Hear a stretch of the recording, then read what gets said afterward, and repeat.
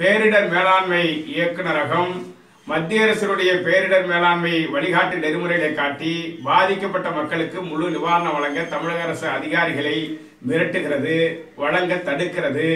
இதனால் ஒரு கிராமத்தில் நானூறு வீடுகள் பாதிக்கப்பட்டிருந்தால் நூத்தி ஐம்பது வீடுகளுக்கு மட்டுமே நிவாரணம் வழங்கப்படுகிறது. எழுபத்தி மூணு லட்சம் தென்னை மரங்கள் பாதிக்கப்பட்டதாக முதலில் அறிவிக்கப்பட்டது. நேற்றிலிருந்து மீண்டும் அனுமதிக்கப்படாத இடங்களில் வயல்வெளிகளில் வளர்க்கப்பட்ட தென்னை மரங்களுக்கு வள நிதி உதவி வழங்கக்கூடாது.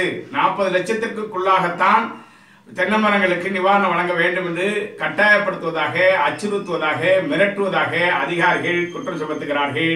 எனவே தமிழக அரசாங்கம் உடனடியாக தமிழக அரசு தனி கொள்கை முடிவை எடுத்து கஜா புயல் நிவாரண திட்டங்களை அறிவிக்க அரசாணை வெளியிட வேண்டும் என்று வலியுறுத்துகிறோம். கிராம நிர்வாக அலுவலர்கள் நியாயமான கோரிக்கையை முன்வைத்து தொடர் போராட்டங்கள் ஈடுபட்டுள்ளதால் நிவாரணப் பணிகள் முடங்கியிருக்கிறது. எனவே தமிழ்நாடு வேளாண் வருவாய்த்துறை அமைச்சர் அவர்களை அழைத்து பேச்சுவார்த்தை நடத்தி சுமூக முடிவுக்கு கொண்டு வர வேண்டும். அதே போல காவிரி பாசன பகுதி மோசமாக பாதிக்கப்பட்ட நிலையிலும் கதிர் வரக்கூடிய நிலையில் தண்ணீரின்றி கருகத் தொடங்கியிருக்கிறது.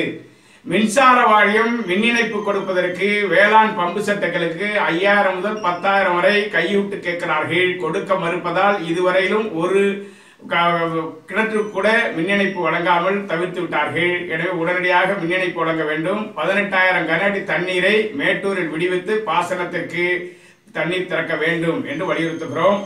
அங்கொன்றும் இங்கொன்றுமாக குறுகிய கால பயிர்களை சாகுபடி செய்த விவசாயிகள் தற்போது அறுவடைக்கு தயாராக இருந்தும் நெல் கொள்முதல் நிலையங்களை திறக்க தமிழ்நாடு நுகர்பொருள் வாணிபக் கழகம் மறுத்து வருவதால் கொள்முதல் செய்ய முடியாத நிலை ஏற்பட்டுள்ளதை கருத்தில் கொண்டு அறுவடை தாமதப்படுத்தப்பட்டிருக்கிறது. அறுவடை செய்ய முடியாத நிலையில் விவசாயிகள் பரிதவிக்கிறார்கள்.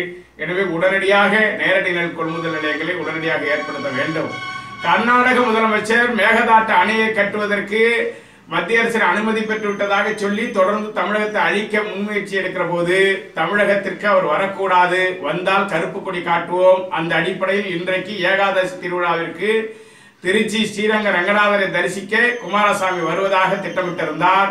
எங்கள் கருப்பு கொடி போராட்ட அறிவிப்பால் குமாரசாமியும் அவரது குடும்பத்தாரும் வருவதை தவிர்த்திருக்கிறார்கள். எனவே கருப்பு கொடி ஆர்ப்பாட்டம் இன்றைக்கு அறிவிக்கப்பட்ட ஆர்ப்பாட்டம். அவரே கருப்புடி கருப்பு கொடி ஆர்ப்பாட்டத்திற்கு பயந்து இன்றைக்கு பயணத்தை ரத்து செய்திருப்பதால் நாங்கள் ஒத்தி வைக்கிறோம் இனி எந்த நாளும் குமாரசாமி தமிழகத்தில் அணிவிக்க அனுமதிக்க மாட்டோம்.